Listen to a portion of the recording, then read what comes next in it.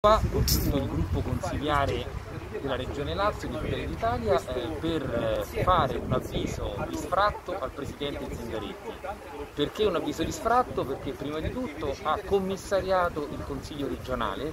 La democrazia deve sempre prevalere, specialmente in una fase delicata come questa. Il Consiglio regionale non si riunisce da più di due mesi. Questo è un atto gravissimo ed è un precedente molto, molto pericoloso. E seconda cosa, la seconda motivazione dello sfratto al Presidente Zingaretti è perché purtroppo la Giunta regionale sta copiando e sta copiando male quello che sta facendo il governo nazionale, cioè ritardi, tanti ritardi, tanta confusione, tanta destabilizzazione e interventi diciamo non, non incisivi come quelli che ci vorrebbero, quindi come i contributi a fondo perduto.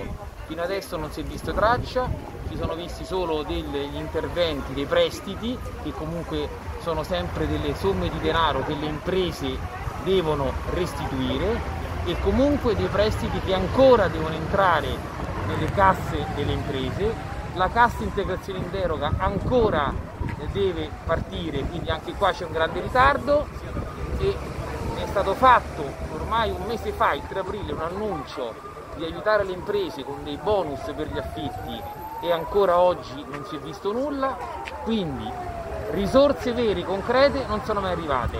Si è parlato fino ad ora solo di prestiti, ma sono prestiti che comunque liquidità che ancora non è, non è arrivata e poi purtroppo c'è un grande ritardo e c'è una grande confusione. Quindi queste sono le motivazioni principali, per non parlare poi della vicenda mascherine, ma lì sarà eh, la eh, procura che sta indagando a dire come sono andate bene le cose, se ci sono stati affidamenti irregolari.